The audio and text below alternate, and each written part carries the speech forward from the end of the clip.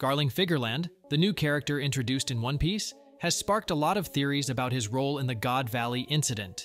One popular theory is that he's the one who gave Whitebeard his iconic scars, but is that theory even possible?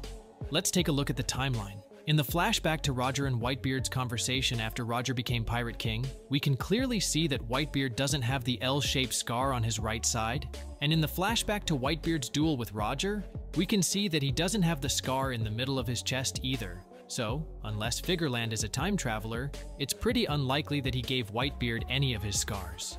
So, who did give Whitebeard his scars? That's a mystery that Oda has yet to reveal. But one thing's for sure, it wasn't Figarland.